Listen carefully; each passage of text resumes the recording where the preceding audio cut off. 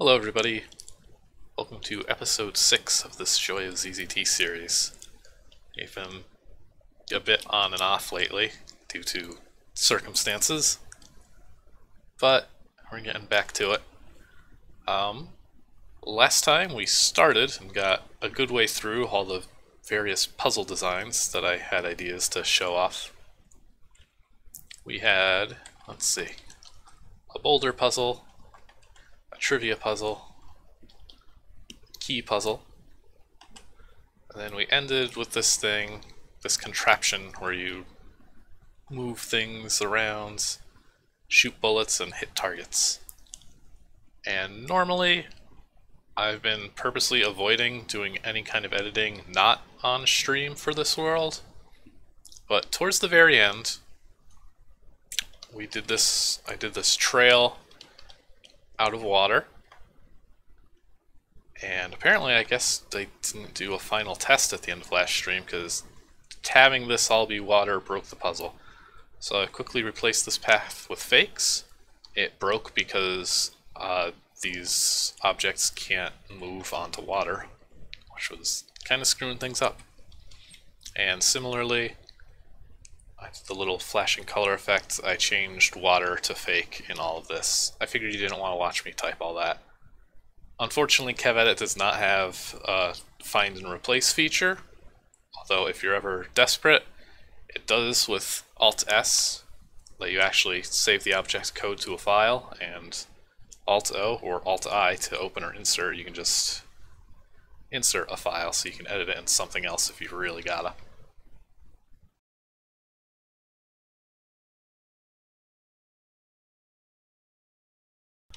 And there was one more bug which I purposely did not fix on off stream because it's something that's very much worth noting. We made our three targets here last, well, I guess it wasn't last week, last episode, and they would send a message when they got shot to hit target to go to hit. And then we have this object here named hit target and hit. And when go to this label, we'd use zap to make it have to have the label called three times before it would die. And then, you know, to save space, we made all these other doors bind hit target. And that breaks everything. Because as we talked about way back when, when you bind code, it kind of shares, it points to the code, it doesn't copy it. Uh, so whenever we send hit target to hit, it would say zap hit, and basically, every single one of these would try and zap hit. It's kind of a mess, breaks horribly. Solution in this case is simply to just not use bind. So I'm going to put this original name, original object in my buffer, and I'm going to replace all these other doors. And hopefully now this puzzle as we left off is playable. So let me uh, test that real quick.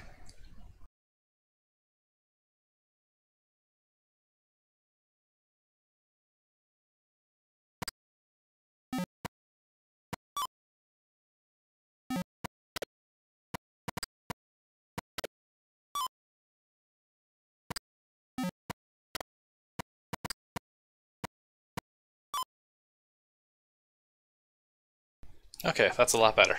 Now it works. We get our bonus points, and we move on to our next puzzle.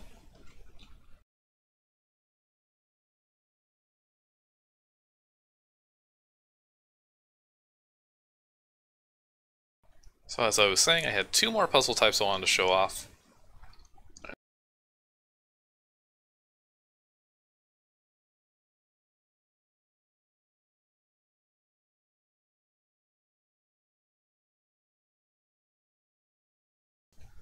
Copy that, give him a nice long hallway to walk down.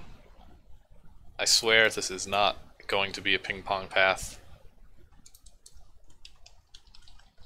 Really, really isn't.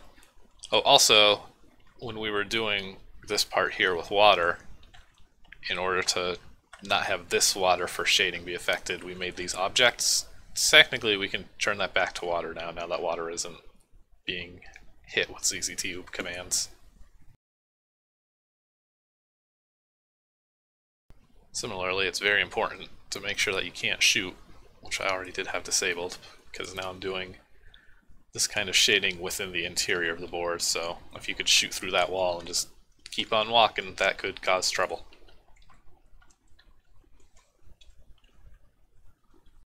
So for our next puzzle, just warp our player over here. Gonna make a nice sort of hallway.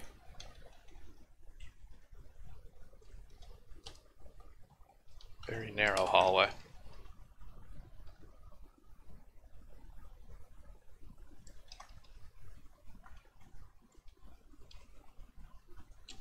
Do not question how this shading works. What we're going to do is we're going to make some objects.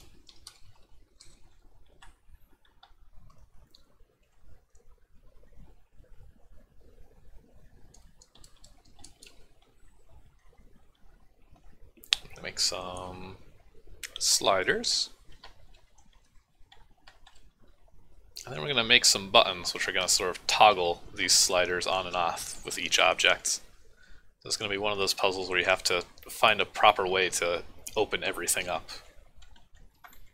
And just like last time, I'm being dumb and winging it. I haven't...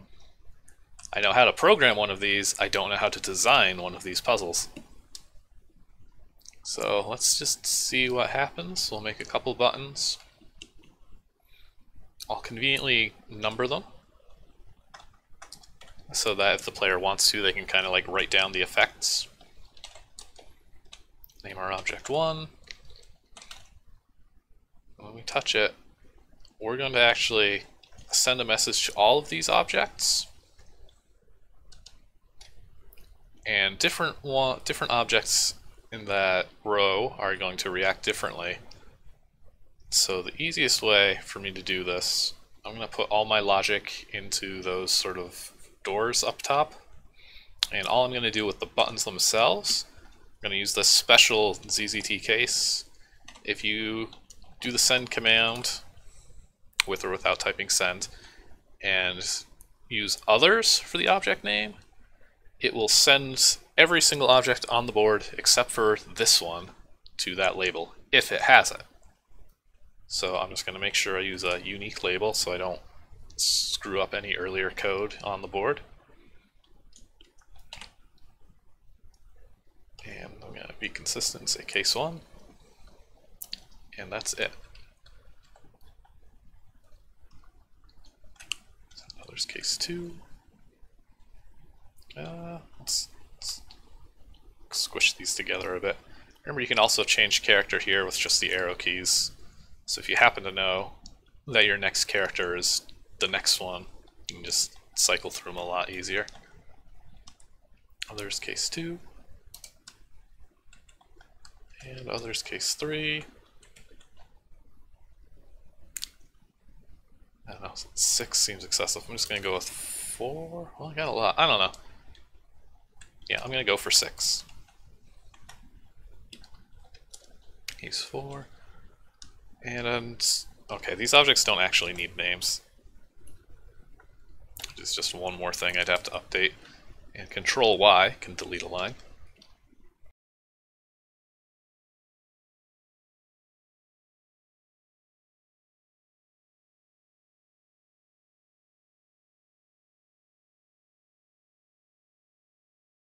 I'm struggling here.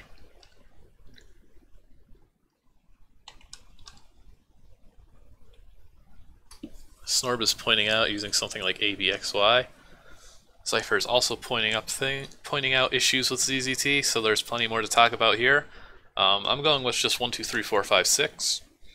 I know one alternative would be something like color, and I would suggest not doing color just for colorblind players. I've, I know there's at least one person still ZZTing who has colorblindness. so keep that in mind that some players might not be able to do that sort of puzzle without a lot of extra frustration if you're color coding things. I guess it's probably not going to make a difference in here since you also have like the position, but still. And Zypher is mentioning in chat an issue with naming labels with numbers. And that is true. I don't recall the details offhand, but sometimes things like case 1 and case 10 will get screwy. In my case, it's always going to be a single digit number, so I'm, I don't have to worry about that. But if you do a lot of choices and numbers, mixing numbers are dangerous if you're doing a lot of them, but I'm sticking with single digits. This may end up, I may be wrong, and this may all come crashing down on me, and then we'll get some bugs to fix. But for now, I think we're good to start programming these guys. I don't think, I think since we're calling them with others, they don't actually need to have names either. I'm just going to experiment with that. Case 1, we'll just say put south empty. I'm just going to make sure I'm correct here. Jump back to Zeta.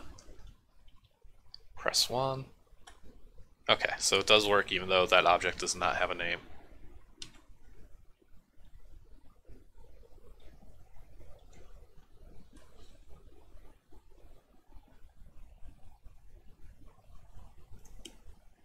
So we're going to start programming some buttons then.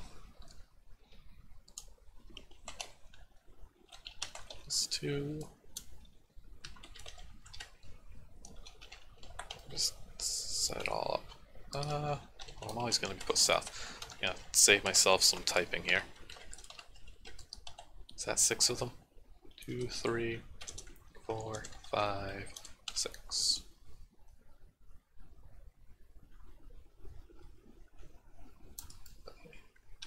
Yellow slider, north south.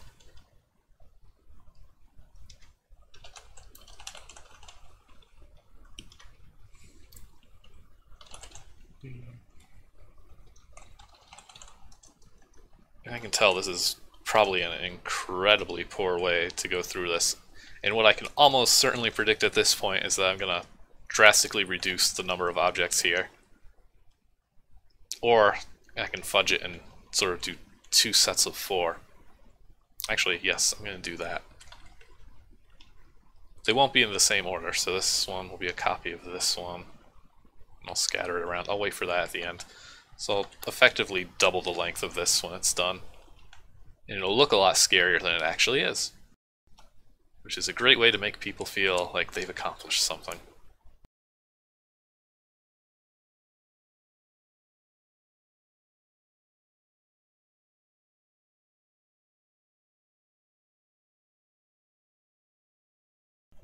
Also, yeah, he can definitely save space like asie's saying.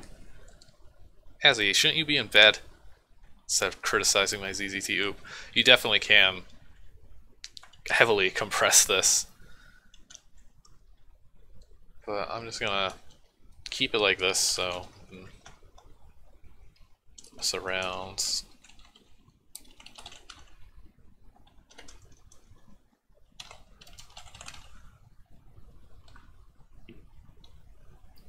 Great.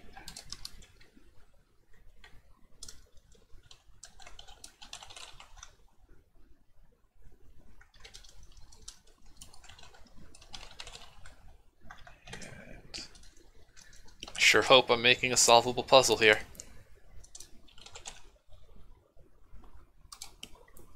You could also do some more complex stuff where instead of it just being a, a hard case of putting a slider or putting an empty, you could have it sort of toggle the state with certain buttons. But if I've learned anything in this series, it's that I'm always horribly pressed for time.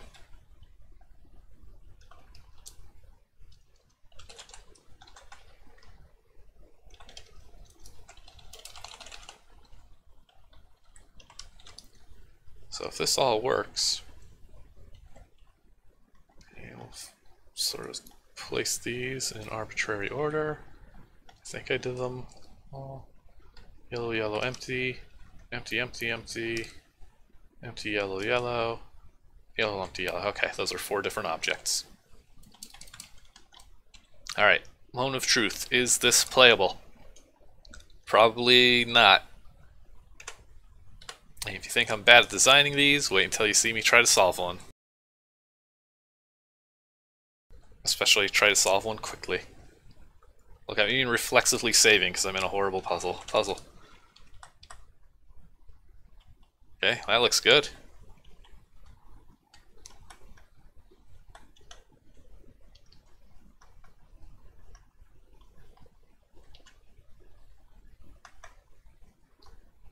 Probably isn't very puzzleable. Yeah, some of these should do nothing. We're getting some fun patterns, though. Let's make this slightly more nuanced. And let's worry about this once we have the other four good.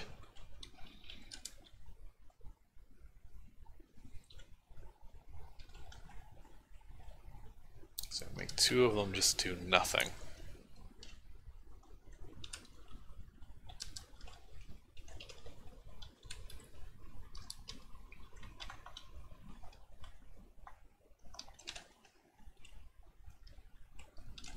Alright. That might be a little better.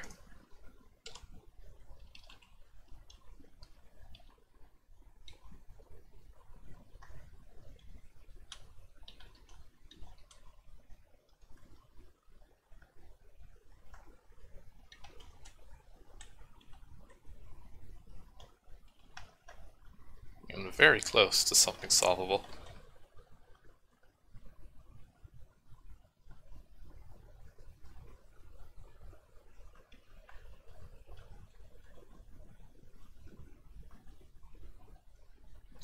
So here's what I'm going to do. I'm going to make it so button 2 also makes door number 3. Put an empty.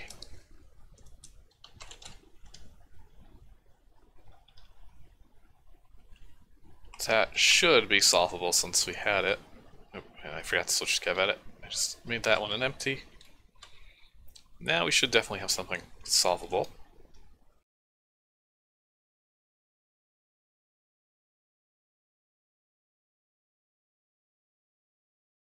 Look at that. I don't feel accomplished at all because I just pressed the buttons arbitrarily. But it works. Now we're getting somewhere. I should have wrote down the order I pressed those in so I could write down a solution. Let me try that one more time, and this time with a pencil. One, three, five. Two, four, six. Three, two. This isn't working very well. Three, two, one. Five. I'll never solve it again, will I? Five, three, one, two. Okay. That's consistent. Right? One, three, five, two, four, six, three, two, one, five, three, one, two.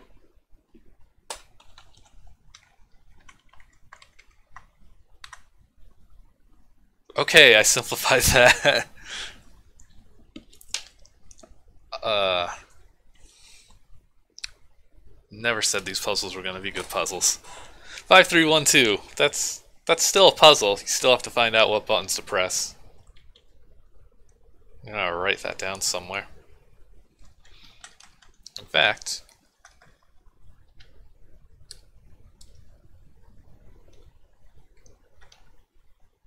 let's see. What are these empty stores? We had an arcade. For rent.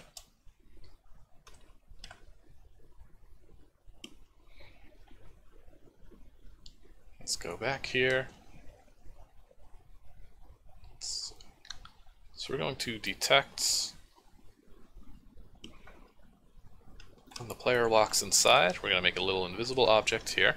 at cycle 1, which is very important because we definitely need it to detect the player. Have a check. We're going to constantly look for contact with the player. Otherwise, have it loop.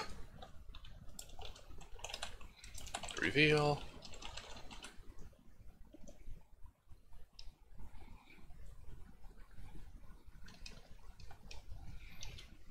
Meanwhile, in this corner, another invisible object.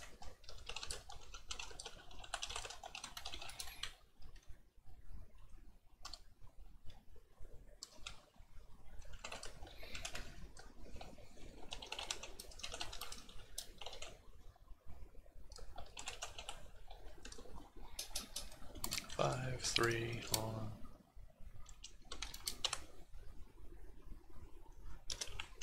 This is how you traditionally do. There. Now we got a severe hint for our severely easy puzzle.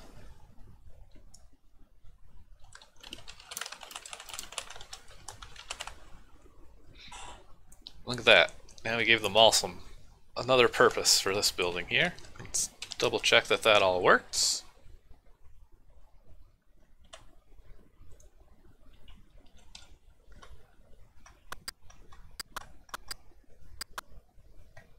Didn't. What did I screw up? If contact reveal, paper show. Oh, I think I said paper appear. Paper reveal. There we go. I totally contacted it. It's right here. You have to contact it to walk inside. Although I'm actually gonna move it here so that it's more out of the way of the player walking in.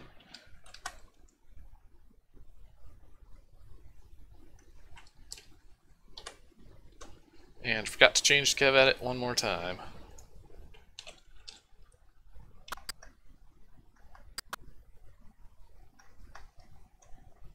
Beautiful.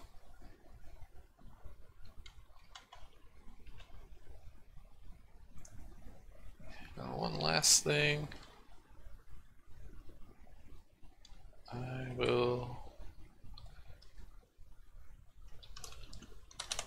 tell it to disappear once it does its job. And by disappear I mean die. And I'll make this thing take a moment to appear. So there we go. Now our mall board is slightly more complete. Our puzzle board is more complete than ever. And I've got one last puzzle type that I want to show off, but I do not have enough room on this board.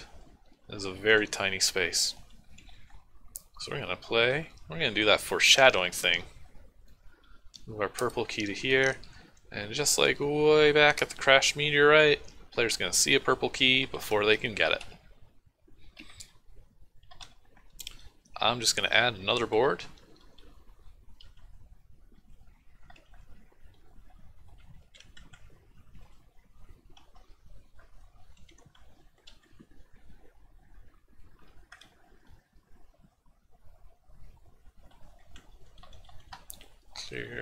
Some room here.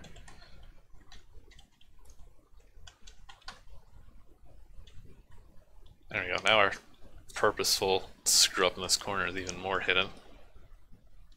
Alright, so let's add one more board.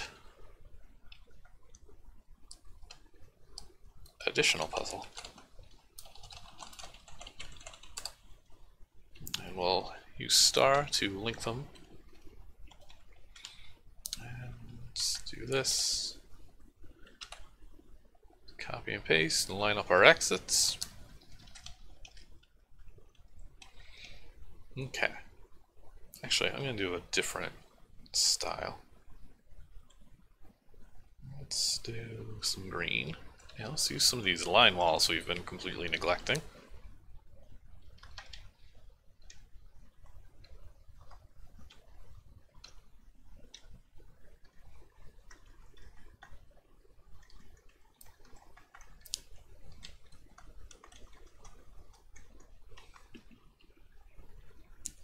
Just like way back when on our killer robot board. We're going to grab a red, green, and blue key.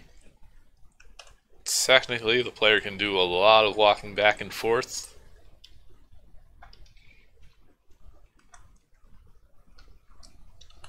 Oop, gotta remember to shut off default colors with D. And now our doors will match the colors we pick. Red, green, and blue.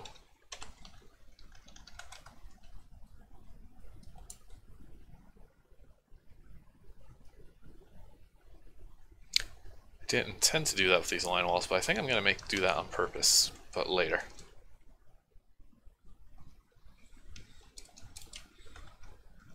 Okay.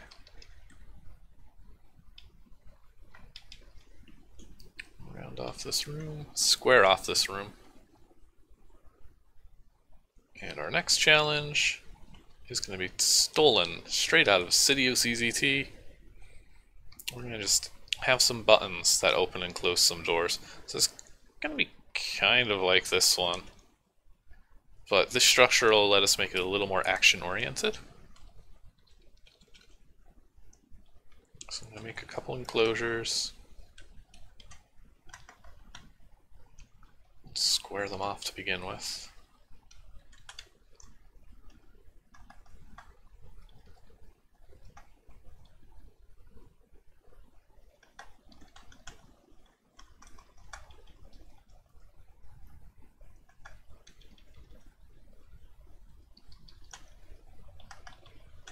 To not do like that.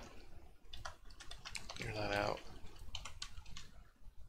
And let's see. So we're going to do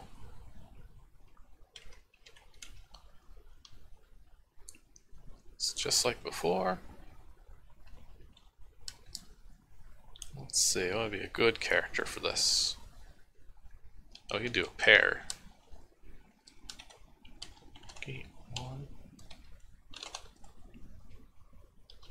Open.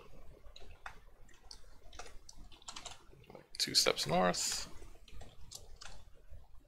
Switch to the other character here.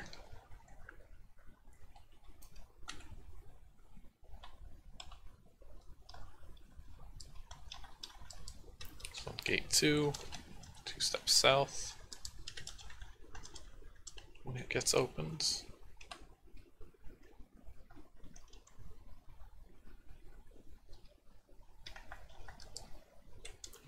Gate 3. This one's going to have to be a little bit something.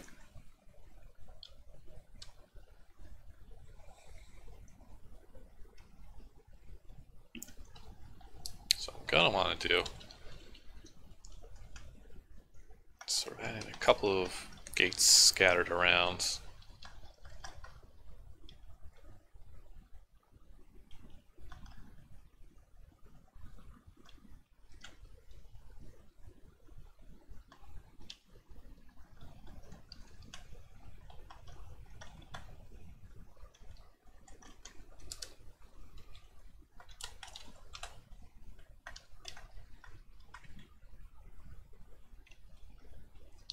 Sure I have room for these gates to move.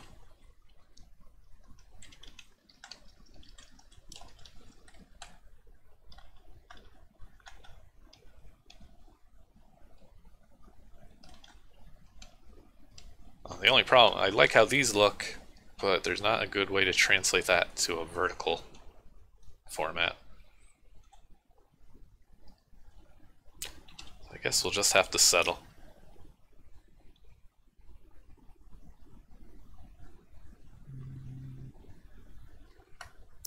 Good enough. Let's see, gate one. So we have gates one, two, and three. Could use V and a caret. But I also limited myself on room. I'm just going to use this percent sign. Call this one gate two.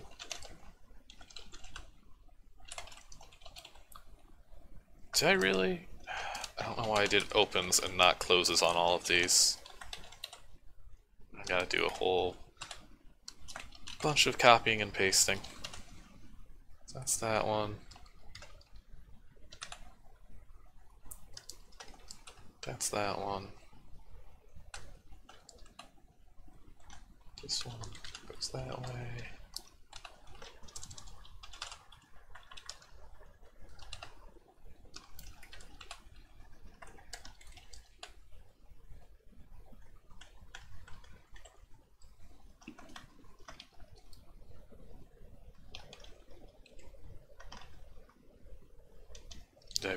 Percent? I didn't even put one in the percent when I realized it. South, so northwest. Northeast.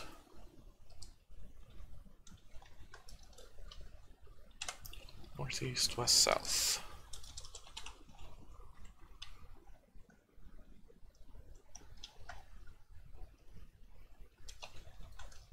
West, south, northeast.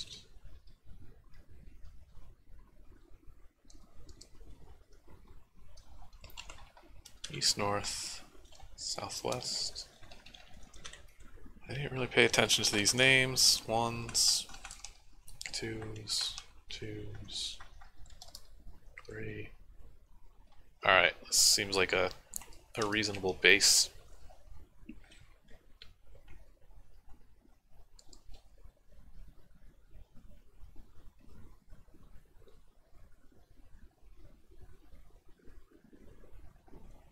Let's see. So this time we have some big buttons to try and make stand out here.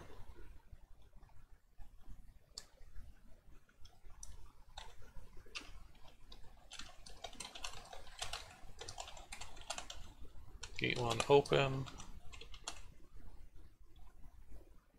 Gate three. Uh, I should have made that a toggle, actually, not an open and close. Uh, I'm screwing this one up. Let's just see what, what we get when we start like this.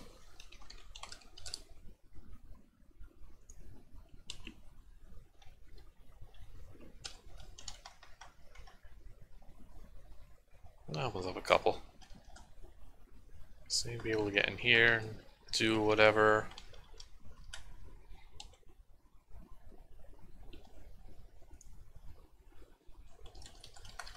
This one would have a button. Let's see, gate two.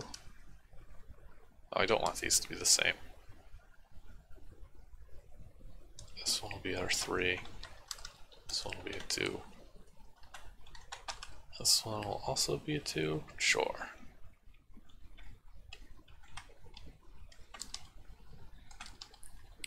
This one, gate three open.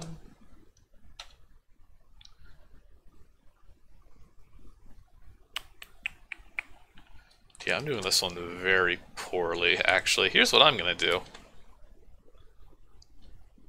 Again, I forgot to switch to KevEdit. I need, like, an alarm when that happens.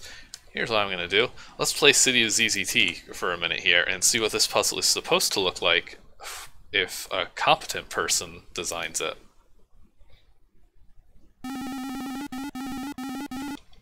Grab some ammo. See, this is why you gotta line up your board exits. Can't go south here. Can't go south here. You can go south here. We're gonna make our way to Dr. Bob's hideout. Fortunately, you can really speed up this board if you skip all the gems, even though you need gems to beat the game. Ouch.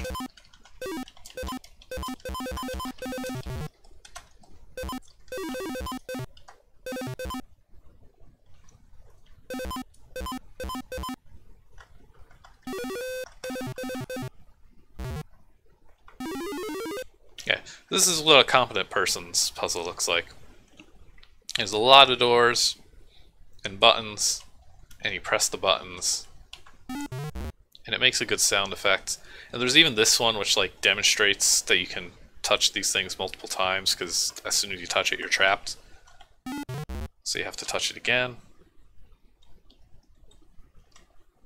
And so a much better way to do this is something like this. And you get the benefit of putting sort of creatures in these little rooms. So there's also this element of danger to it, in addition to just figuring out how to navigate the board.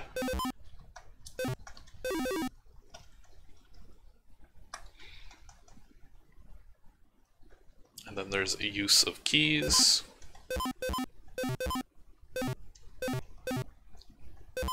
I do not have a lot of ammo. Okay, but I just opened up the ammo.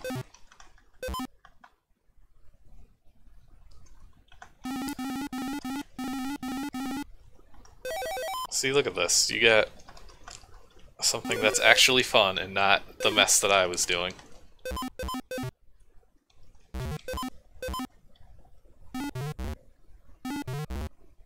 And it's even further incorporated by the fact that you can block off the exit, so even when you get through the puzzle, you still have to make sure you have a way back. Plus this sort of optional room where it's just some gems. This is a well thought out and good board that was not made in five minutes for a live stream. Let's see. I need to get somewhere else. What do we got? That opens up that. Still got a whole nother button to press. There we go. See, now we can get the key, but we can't get to the door. It's thoughtful. It's good. I like this board a lot.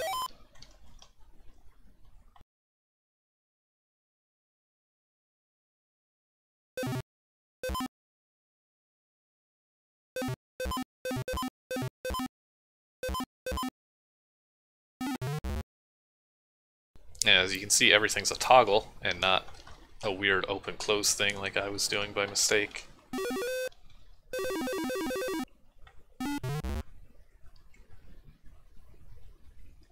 Now we're almost done here. I need to open up the exit.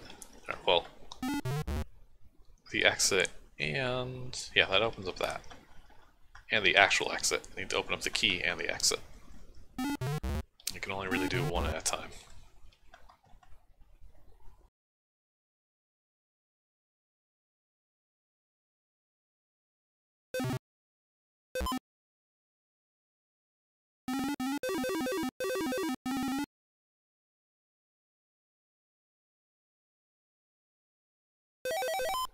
Get a reward.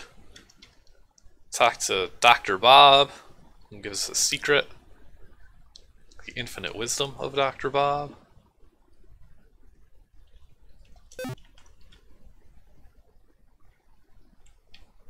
So, this is a lot better than what I had going.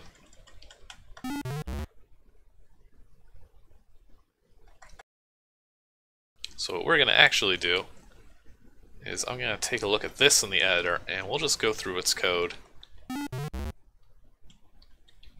Oh man, I have buttons I probably shouldn't have. Still can't get out of here. There we go. Anyways, long story short, I can reach the exit. Let's go back to KevEdit. Let's look at this mess.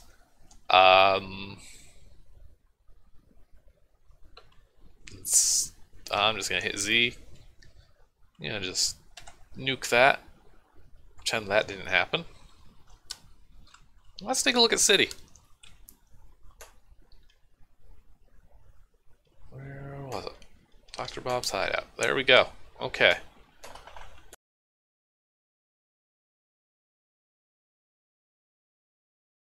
Hang on one moment.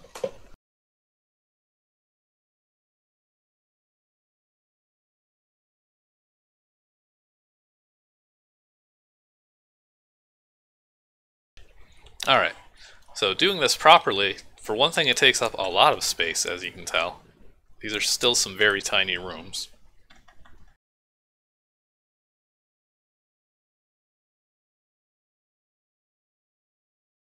There's, let's see, so we hit our button.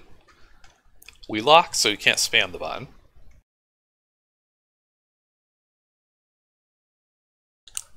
We have Bob play the sound effects so the music doesn't double up, I guess? I don't think that matters. I guess it's just to not put the music in every single object. We zap touch because this is a toggle. And then we send this object called A2 to do east, which is what do means here. And we wait a bit to unlock to make sure that we have time for those doors to move. Next time we touch it, again, we lock, sell Bob music, we restore touch, so that goes back to this one for the next time. And we tell it to go due west. So let's see, so A2, we've had a couple of those. all it is is just moves a couple steps. So there's not a whole lot to this puzzle. The fun of this one is that, you know, you get to use other objects, other enemies, to keep the player from just puzzle solving. And all these other buttons are going to be very similar to the point where they can copy code. Here's one. Same thing. Sends A1. This one sends A5. These need a bit more planning. Look, look, it's a DOS label. And you can also see too that we have some of these that aren't even related to rooms like these ones here. So there's a lot you can do with this concept if you, you know, put the time into it.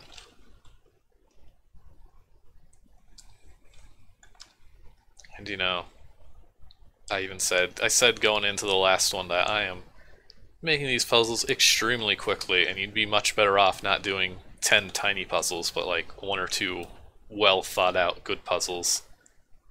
So you don't end up with situations where you think you have to press 20 buttons and then you realize you only need to press 4 over here or that sort of thing or you know trivia where the answer to every question is the third option just so you can remember it. I'm going to actually just ignore this board. I think you get the idea from City and that's a very quick resource, a quick thing to look at. And just mess around with this a little bit. Fill in our pattern again.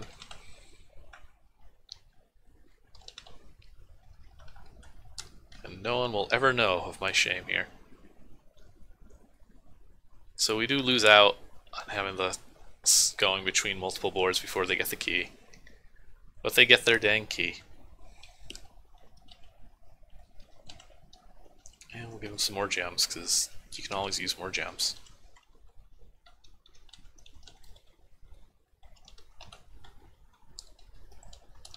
I'm copying and pasting so I don't have to go pick colors again.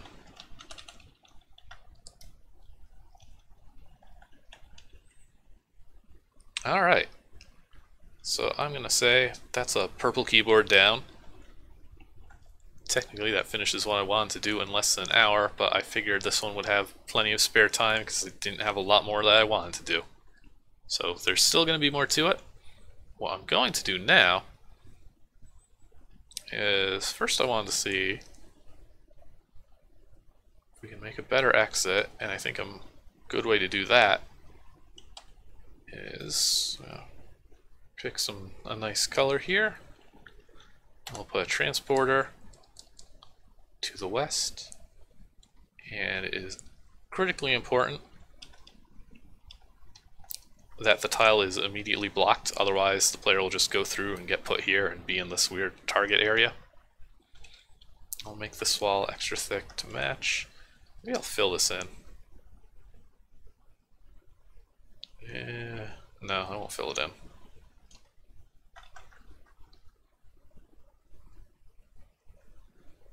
Then I can put another transporter here. Other ends. To the east. So this will let them go back and forth, but of course, as this is set up right now, they can also just, you know, answer the trivia questions here and just jump right to the key.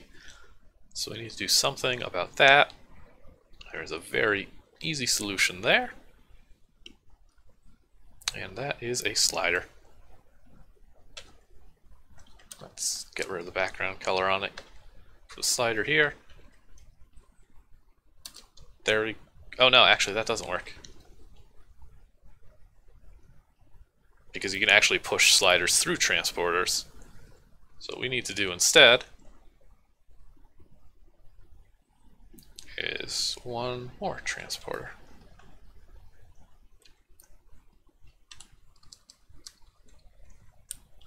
And give it the proper colors.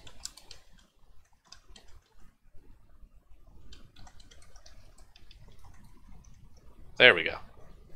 So now they'll be able to exit, but they won't be able to go in through this way. And we should have a fully functional puzzle we've tested all the individual components, and uh, no, we can do a full playthrough of it later. I mean, they're very isolated puzzles, you're not going to break one to another. So I think we've got a board.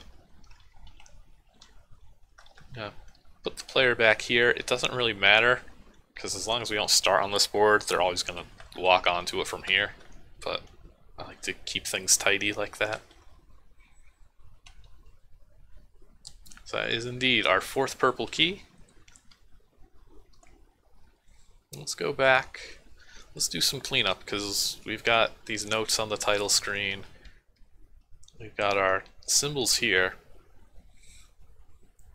I forget, we were making these match our purple key sources. This was the robot factory. This is... I don't know what that is. Where are other purple keys? There's the scrap. There's the robot factory. Is that three? No, four is the park. Four is the meteor one. So we want to make these things match where we get them. So these should be centipedes. That's the order we added them in. So Robot Factory, Meteor Crash in the Park, the Mall. I have one of these? And one robot. It's the Mall. And then the Puzzle Room. And I have no idea what... Oh, I guess the only iconography here is our Quizfish. So we'll use that character. Once I find the board again. There we go, top part. Quizfish. Well, we'll use alternating colors. Nope. Purple on red. So we've got just one more purple key to go. And then the mysterious button at the top. Or orb. We made it an orb, didn't we? I guess we didn't name it anything. Orb. Okay. So we go all the way back to the title screen, way back in like the first episode. We had some notes on our robot factory. It was noisy. Some of our robots were too dang smart, and we had more gems than we'd like. So let's address those. First and foremost is the noise. And the noise issue was coming from these duplicators. And they're always going to make noise. And so, the only real alternatives there are to mask it and mute all sound. We can have an object basically play rests, and that'll basically overwrite any of ZZT's default sound effects with nothingness. And that'll work. Then we don't get the fun little bouncing of these ricochets, and there'll be no sound effects for shooting or being shot. So I'd rather keep these, or alternatively, we can have an objects do the duplicating instead. It's not really a good way to do that. I mean, there is. We can we can put lions with objects easy enough, but then we don't get custom intelligence values, and they're also going to be forced to be red because you can't normally specify colors. So I don't think we have a good solution to that. We have to decompile ZZT into Turbo Pascal and edit out the duplicator noise. It's the only solution, sorry. But unfortunately, I don't think there's a good way to solve that one, honestly, without compromising other aspects of either the audio or the game itself. What we can do, though, is definitely clean up this giant mess of gems. That's definitely a lot. And we put so many gems there at first because we were avoiding objects. So each one of these is a dozen, roughly. This one's a little more. So I'm going to just erase these.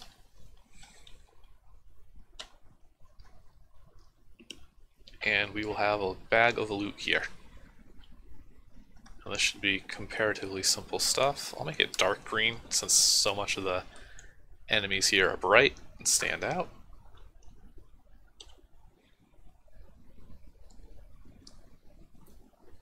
You can make it a dollar sign if you want to be blatant.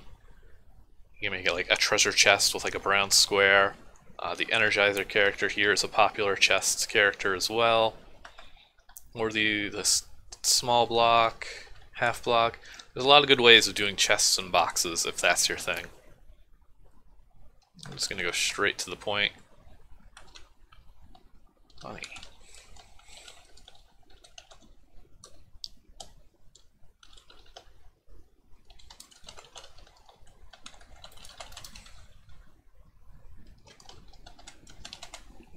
Simple enough. And there's something I said about their intelligence. Robots on the left have too high intelligence. Okay. Well, that's easy enough. You can just tone it down a little bit here. Make it one above average. I do recall they were all getting very bunched up by the time the player got to this point. imagine these are the same, yeah.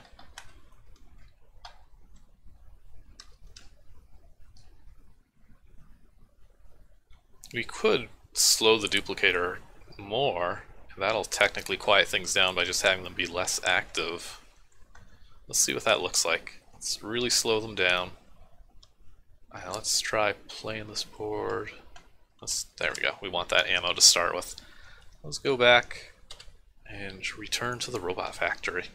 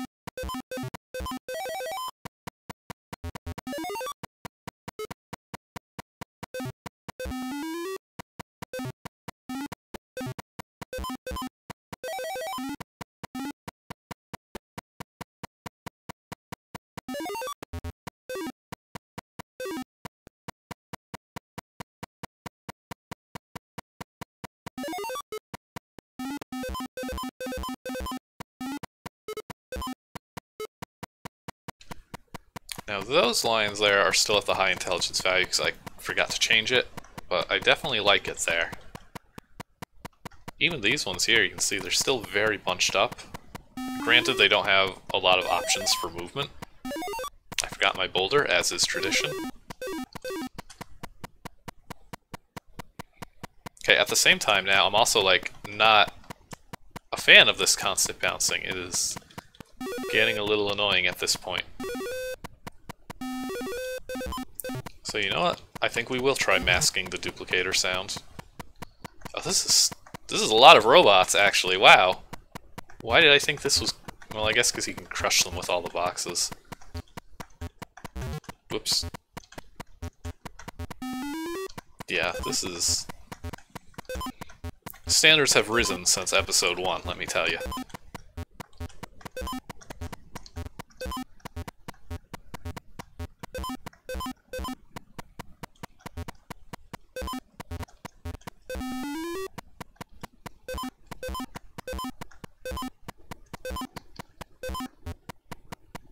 Also, I might have soft-locked it by doing this. No, but I came close.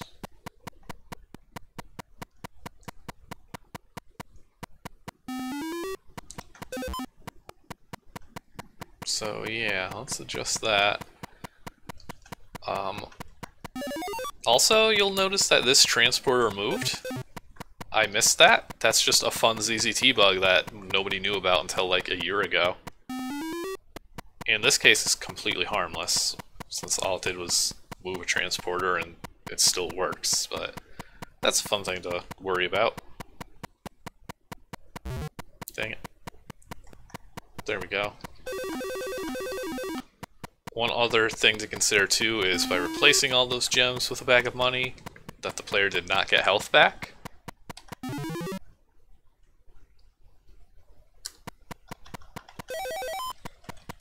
Something to also deal with. Let's handle that first and foremost.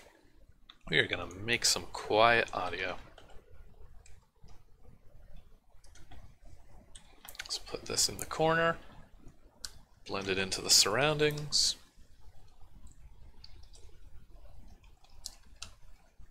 Make it cycle one. Silencer.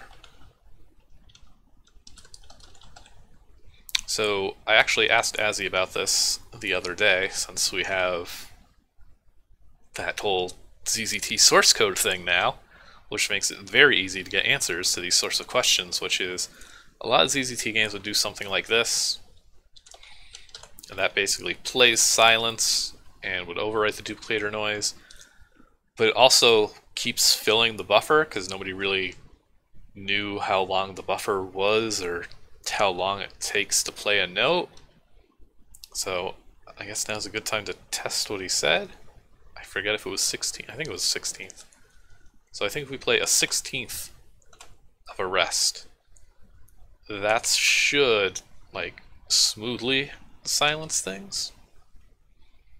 Let's just add in pause to test that later. So if I'm correct, we'll get silence through all this. And I'm going to go back to this object here. Silencer. Pause the silencer. Just to err on the side of caution, and we'll have it idle a single tick. Which also means I want to lock the object so the player can't keep touching it for gems. And then I will play... Let's see. Coin, money, cash. That's a that's a nasty sounding one, but sure. And if I am correct, I'll move the player here. We should get a silent board, and touching this should still let us hear this music close to immediately. Without having like a giant buffer of silence to get through first before it plays. So let's see. Listen closely.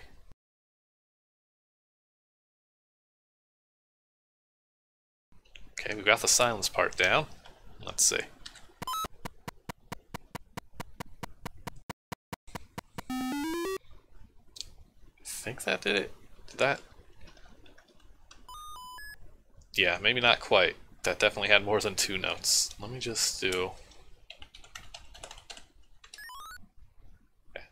That's a pretty straightforward sound. Let's try and see what that sounds like.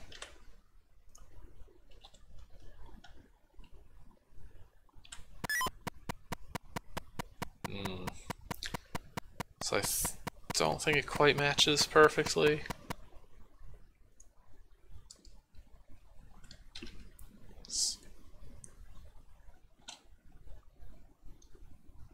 Add one more idle, see if that makes it a bit more smooth.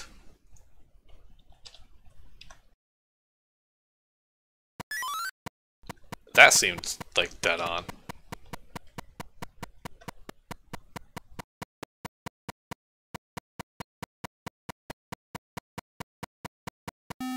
Oh my goodness. Let me pause ZZT there since I didn't tell it to re-silence everything. Okay. Player music.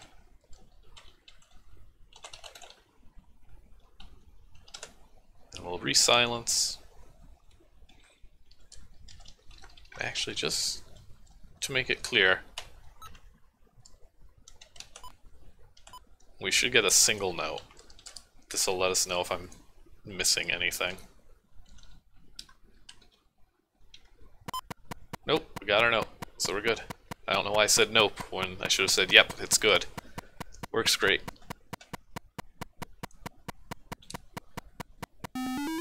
Not quite, actually. Why did that? Wait, what? Oh, I guess it still took a while for the buffer to kick back in? We were definitely getting some bouncing noises. Hang on. That was weird.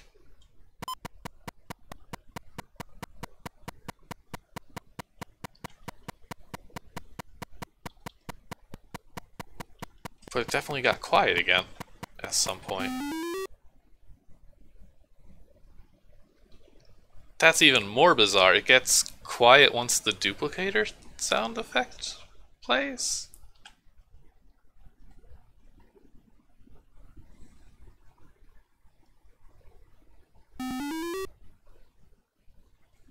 I have no idea. That's going to be a question for asie. I'm going to go with not worrying about it for the time being.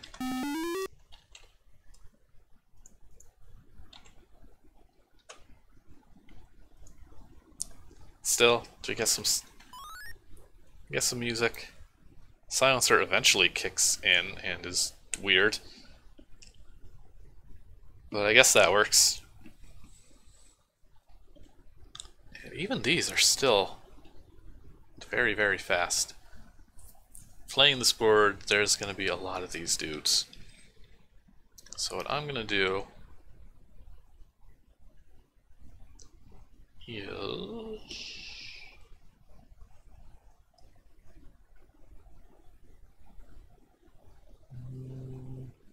Weighing my options here. Could just drop it down to one.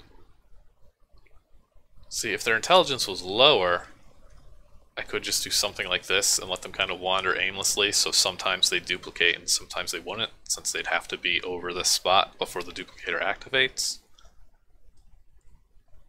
That'll probably work out, well... Hmm.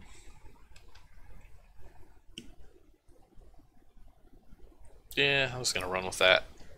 We can see what that looks like again later. Let's do one last quick run through. Over to here.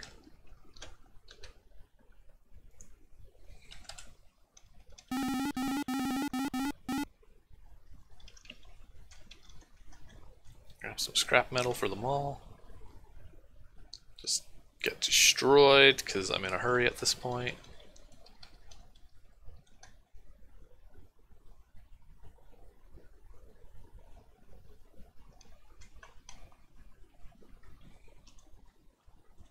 Yeah, that might be a good idea to actually let it fill up naturally instead of having all those pre-placed ones.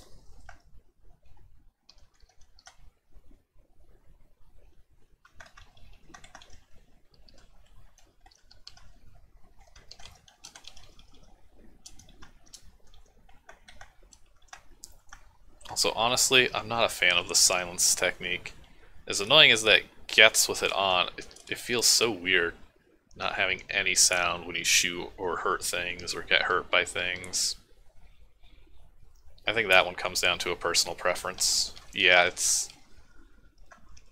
I'm probably going to get rid of that silencer after this. Yeah, there's still a lot. That's what it really is. It's not the duplicators, it's just so many to begin with. So I'm going to quit out, back to KevEdit. Gonna re make these guys go.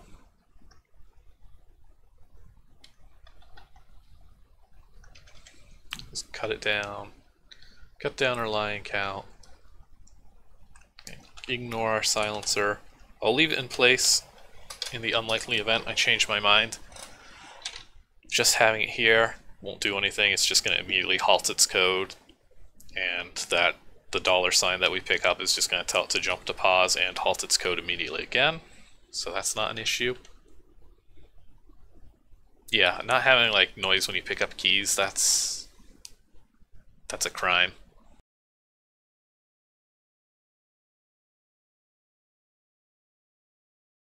Actually, no, I know what we're going to do. We're going to put some optional earplugs.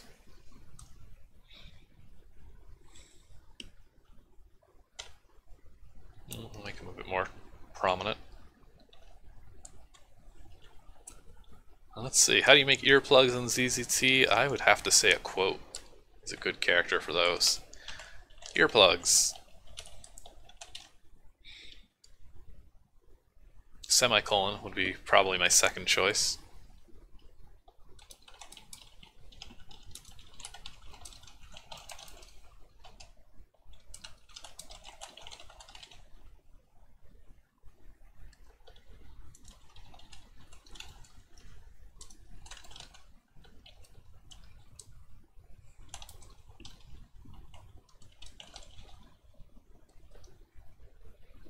Again, we don't need to do an optional label.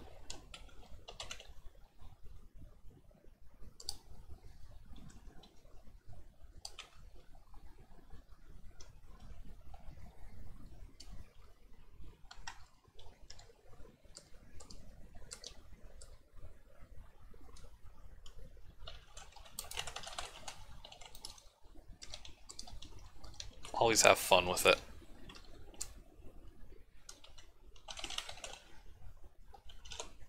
There we go. Make sure this is cycle one, so it kicks in immediately. So now, if you're not a fan of the noise, you can put in some earplugs. Now, if you actually really want to go all out, technically you could have objects check when these keys disappear by looking for if any green key, and then actually play the key sound manually and then resume the silence. That actually sounds kind of fun. But I'm just going to stick with these earplugs for now. My only other complaint is that you can't turn them off once they're in. Oh well. In fact, As long as we're here.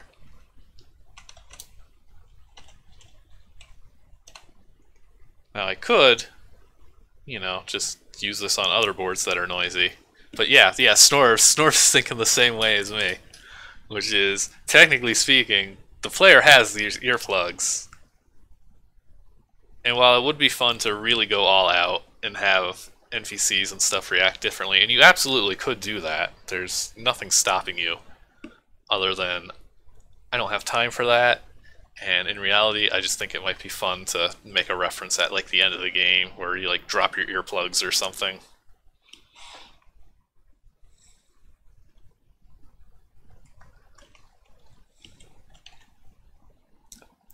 But that's always something fun to do. Let me make sure that this does indeed work. There's no reason it shouldn't. It's very straightforward in code. There we go. Oh, I forgot to make them disappear, actually.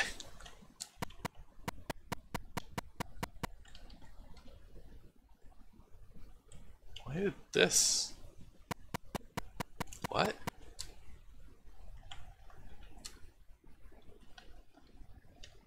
Okay, so you put them on, and it sends the silencer to silence, but this is just an empty label. And then it makes noise again. I've got questions. It's great finding weird ZZT behavior just in the middle of a stream.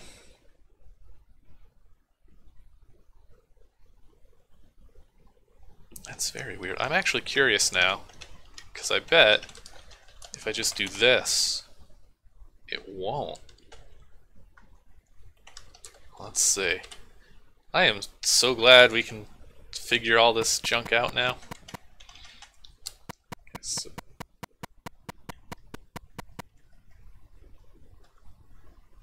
it's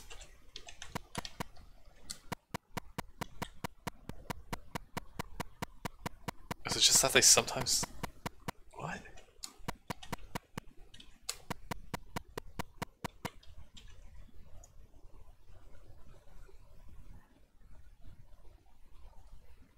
Yeah, the ZZT audio is a mess, and there's a reason nobody knows how any of it works.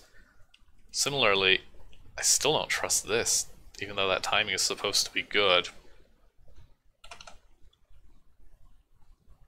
But now that I have this as like an optional thing, I'm not too worried about doing this whole pausing thing. In fact, if not earplugs. There we go. I have a lot of questions. Many, many questions. But, ah, I did it yet again.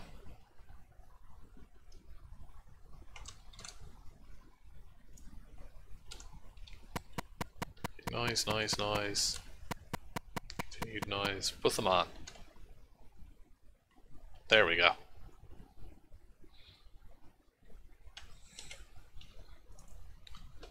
The last thing I want to do is, I don't know. The only thing I'm worried about with this is that since it's like in-universe, I think everybody is going to touch the pair of earplugs and be like, well, I need to wear the earplugs or else I'll get a game over later. So I do need to do something to make it clear that this is like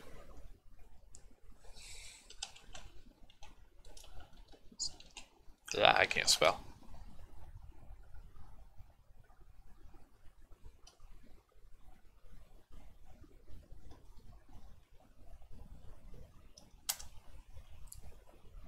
Sounds of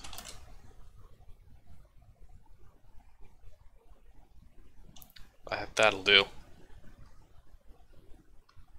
Got the earplugs. Earplugs and puzzles. No longer noisy. Intelligence is better. Replace with an object. Notes. Park slash meteorite needs a better way back. Let's see. Martian Park. Which took us to here.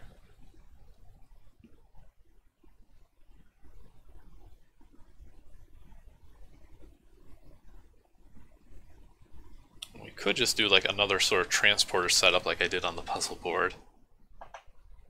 I'd kind of like it to be something a little different. So let's try back to the park. Hmm. Mm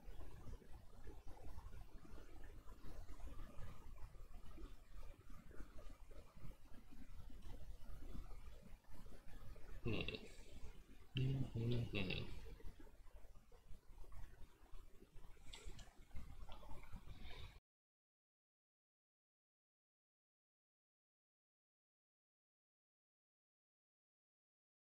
do something like this.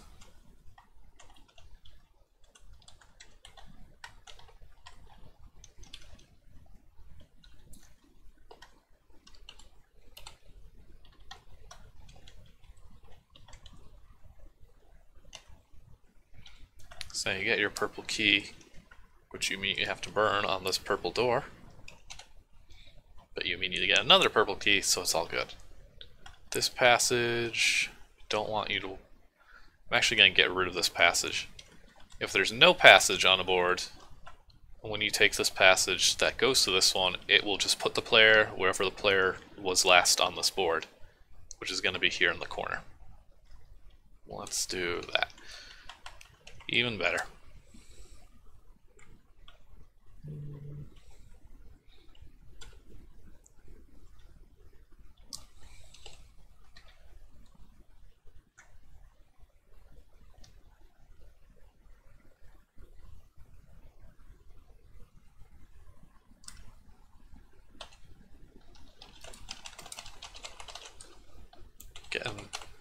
So this is the fun part of ZZT, where you make paper towel dispensers, because the bathroom now has some extra space in it.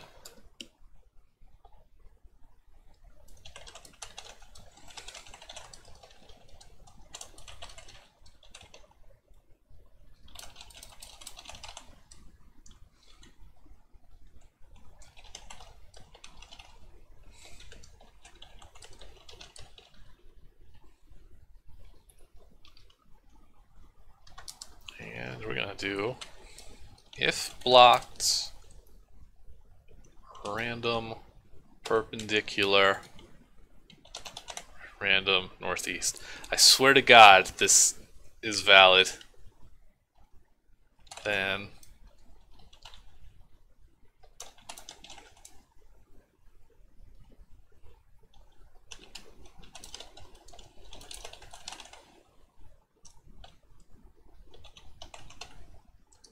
See, ZZT can be very therapeutic when you make paper towel dispensers that have a 25% chance of giving you a paper towel. So again, because this is a horrible mess of a direction, this means random perpendicular to this, which is a random direction north or east. So it'll pick one of these, and it'll pick a direction randomly perpendicular to it. So effectively, you get a 1 in 4 chance. Well, you get, sorry, you get 4 possibilities.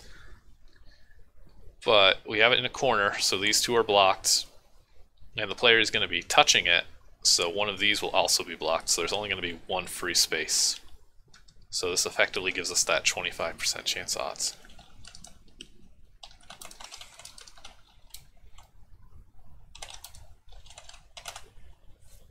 And also, I'm going to have it put seek, because that way it always puts the gem in the direction of the player, since they're going to be adjacent.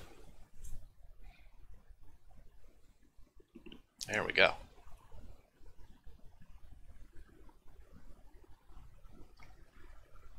ZZT, everybody.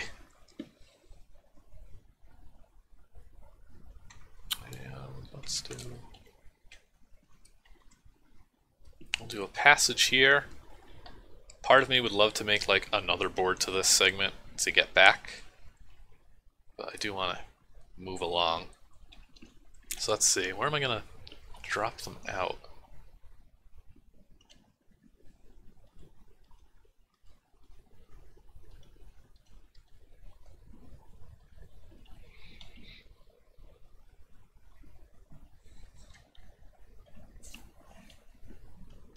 This will this will create some intrigue. Actually, you know what? Whoa. Wrong button there. We'll make it really intriguing. I'm to immediately burn that purple key. They won't even know, necessarily. Unless they were out here, and they're like, how do I get this purple key? And the answer is this weird passageway through the park.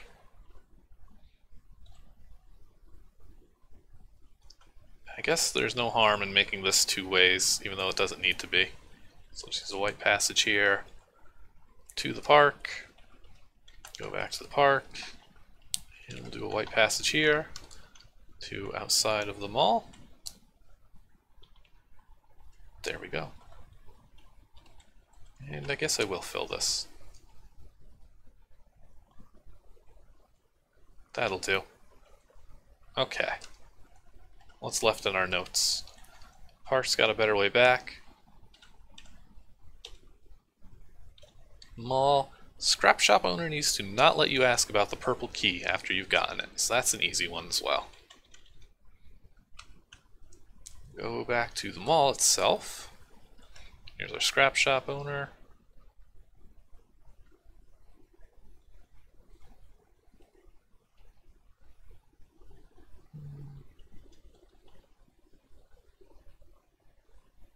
like this. Back to here, when you ask him about the purple key.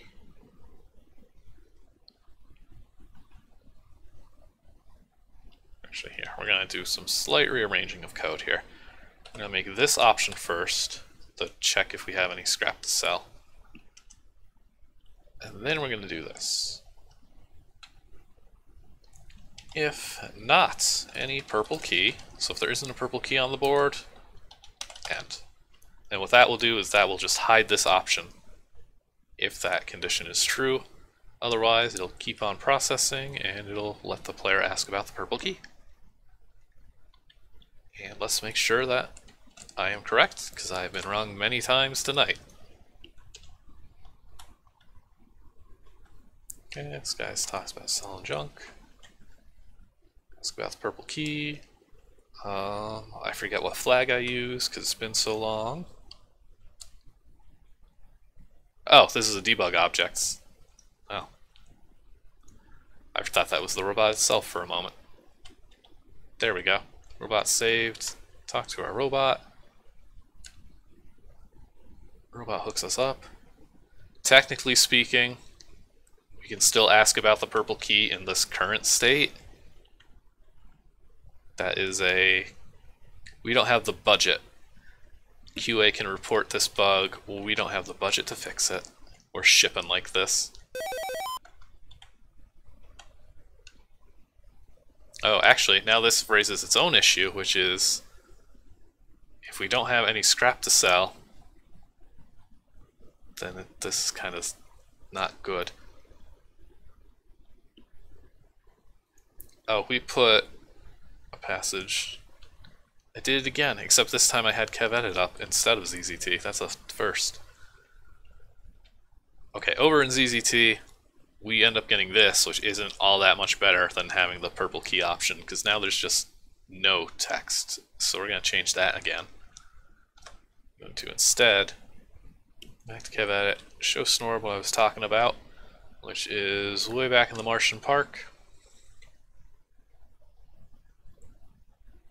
You get back in the park. You get back through this passage here.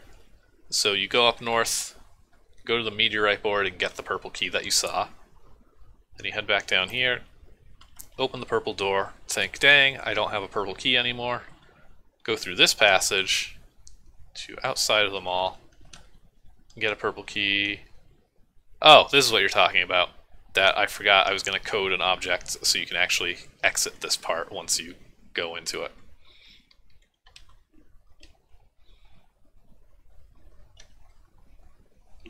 Actually,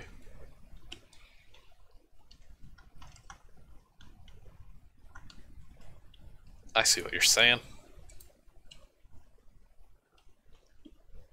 Uh, don't want this passage to not be in like an awkward spot.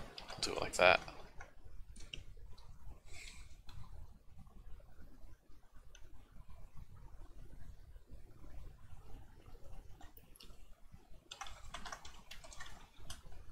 This.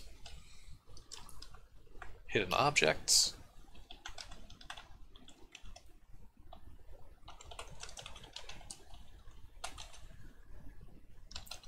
First, we have to check if we're blocked to the north.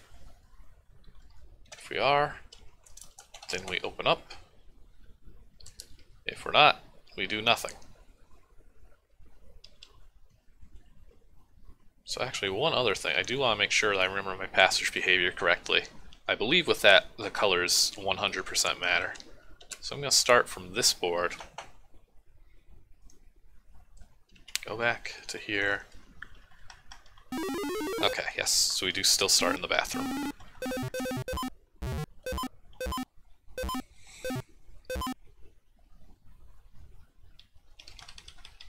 Then we got our key.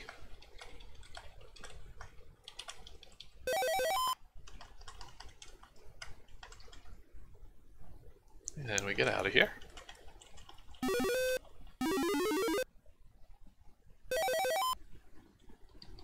And then we get out. Purple key acquired. Okay. So last thing is to fix that last mall issue. I'm gonna do it this way.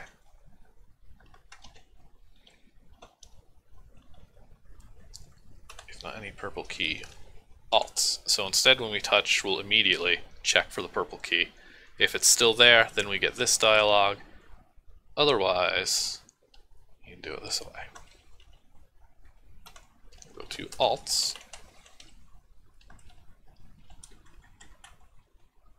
Copy and paste our text.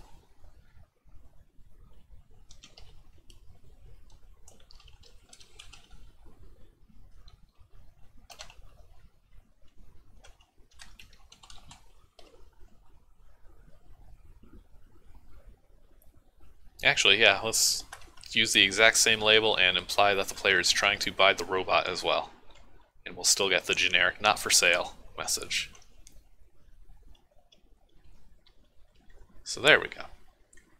So now we'll have that working. One last test.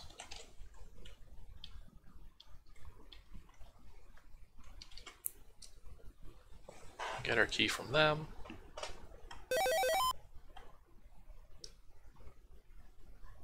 About that Cool robot. Not for sale. Looks good. I'm doing some more debugging here in the small. Looks like we don't need this anymore. Was this a debug object? This was a debug for testing the rejuvenation chamber.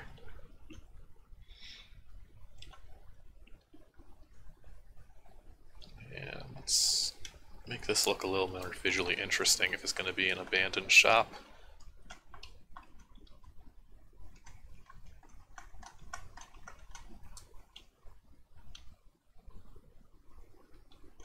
I guess I won't do a tile floor, I'll just do some dust in the corner.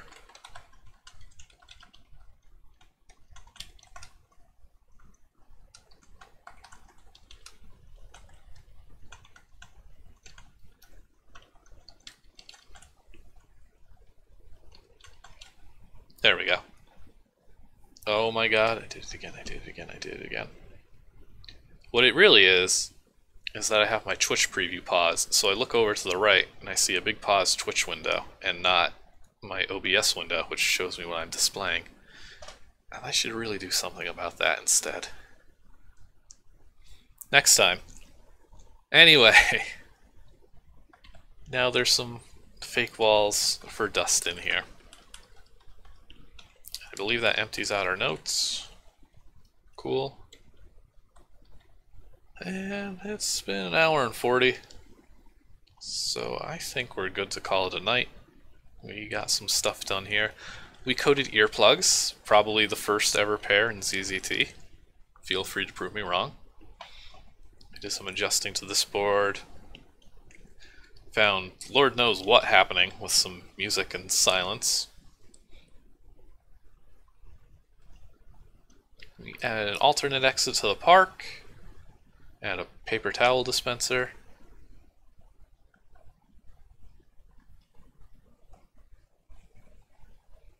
Add this exit here in the mall.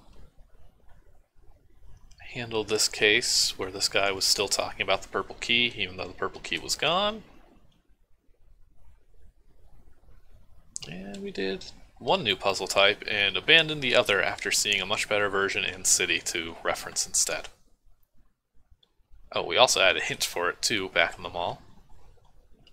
I think that covers everything. Um, if anybody's got any other questions, last minute things to bring up, go right ahead. Otherwise, I think we're going to call it a night.